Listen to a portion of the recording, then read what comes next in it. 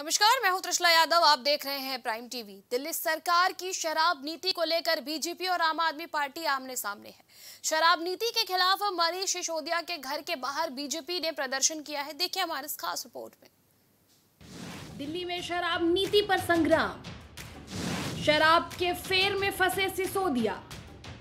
आमने सामने आए बीजेपी और आप।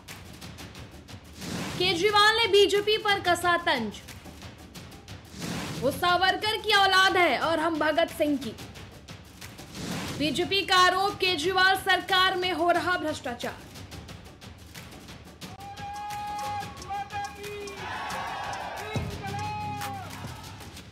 इन दिनों राजधानी दिल्ली में सियासी पारा चढ़ा हुआ है। बीजेपी और आम आदमी पार्टी एक दूसरे पर सियासी तीर छोड़ रही है। दिल्ली में नई शराब नीति को लेकर एक्साइज ड्यूटी में गड़बड़ी के आरोप।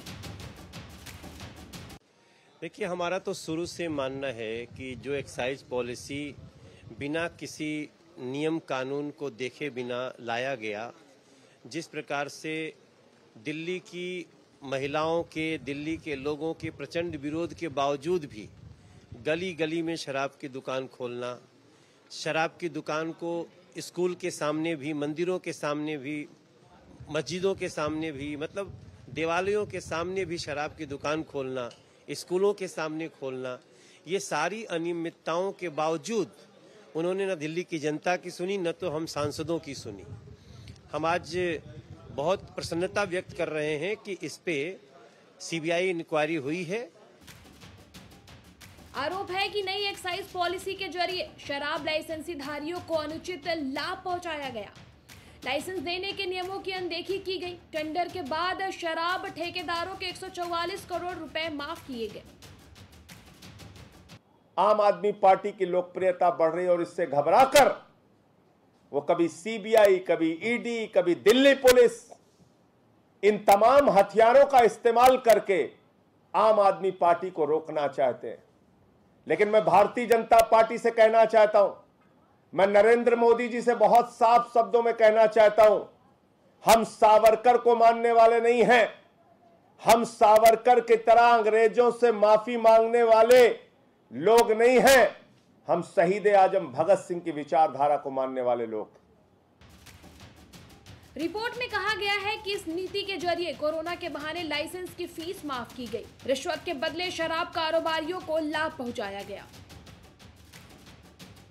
काउंसलर के इलेक्शनों के अंदर लोग हमें वोट देके हमारे कैंडिडेट्स को जिता रहे हैं। मध्य प्रदेश में हो रहा है, हरियाणा में हो रहा है, कर्नाटका में हो रहा है, महाराष्ट्र में हो रहा है।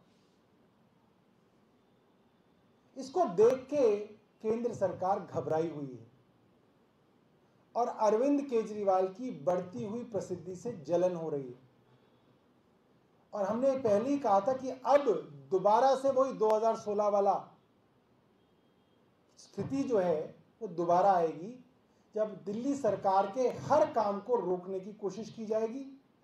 दिल्ली सरकार के हर मंत्री के ऊपर सीबीआई की इनकम टैक्स की ईडी की इन्वेस्टिगेशन खोली जाएँगी। कोशिश की जाएगी कि इनको किसी ना किसी तरीके से रोका जाए। बता दें कि अभी तक तो मामले में वार पलटवार का दौर चल रहा था, लेकिन अब बात सड़क तक आ गई है। बीजेपी ने केजरीवाल सरकार को घेरने के लिए ज़मीन पर उतरकर जमकर प्रदर्शन किया और दिल्ली की एक्साइज नीति के खिलाफ बीजेपी के साथ कांग्रेस का मुख्यमंत्री और आबकारी मंत्री मनीष सिसोदिया के घर के बाहर लगातार प्रदर्शन देखने को मिला। सुबह छह बजे मनीष सिसोदिया अपने घर से निकल जाते हैं। और अलग अलग स्कूलों के अंदर दौरा करते हैं, सरकारी स्कूलों के अंदर दौरा करते हैं। मैं पूछना चाहता हूँ, कौन भ्रष्टाचारी ऐसा है इस दुनिया के अंदर जो सवेरे छः बजे उठ के स्कूलों के दौरे पे निकल जाता है बच्चों का भविष्य बनाना चाहता है? कौन भ्रष्टाचारी ऐसा है? तुम लोग सावरकर की औलाद हो, जिसने अंग्रेज़ों से माफ़ी मांगी थी। हम लोग भगत सिंह की औलाद हैं, हम भगत सिंह को अपना आदर्श मानते हैं, जिसने अंग्रेज़ों के सामने झुकने से मना कर दिया और फांसी पर लटक गया। हमें जेल से फांसी के फंदे से डरने लगा कई बार जेल हुआ है हम लोग। बीजेपी की मांग है कि जल्द से जल्द मनीष सिसोदिया की गिरफ्तारी की जाए। पुलिस ने बीजेपी के कई नेताओं को हिरासत में ले लिया है। वहीं बीजेपी सांसद मीनाक्षी लेखी ने कहा कि दिल्ली की जनता के साथ धोखाधड़ी की जा रही है। इन सब इलीगल गैर कानूनी चीज़ों को लेकर जिस तरीके की धोखाधड़ी दिल्ली की जनता के साथ हुई है और जो बहुत बड़ा जो है स्कैम ही कहेंगे उसका ब्यौरा जो है तथ्यों के आधार पर अगर केजरीवाल जी देते हैं तो आ, हमें जो है सहूलियत हो जाएगी और इनको ऐसी आफत क्या आई कि इनको अर्जेंट नोट सर्कुलेट करना पड़ा बिना 48 घंटे का नोटिस दिए क्योंकि कोई भी पॉलिसी नोट है उसमें कोई मरने जीने वाला नहीं, कोई आग नहीं लगी, कोई आपदा नहीं आई, कुछ नहीं हुआ। तो 48 घंटे के नोटिस के बिना बिना एजेंडा सर्कुलेट किए हफड़ तफड़ में इनको ये कागज़ क्यों साइन करने पड़े? और ये ज़रा हम सबको बता दें। तो बेसिक जो हमारी बात है। नई आबकारी नीति की सीबीआई जाँच की सिफारिश करने वाले मामले में दिल्ली में शराब बेचने वाले दुकानदारों में भी खलबली मचा दी है। हालाँकि जाँच की आज किस किस तक पहुँचती है ये कार्रवाई के बाद ही पता चलेगा। Desk report prime TV. हमारे इस खास रिपोर्ट में इतना ही देखते रहिए प्राइम टीवी। कुछ भाव पुष्प।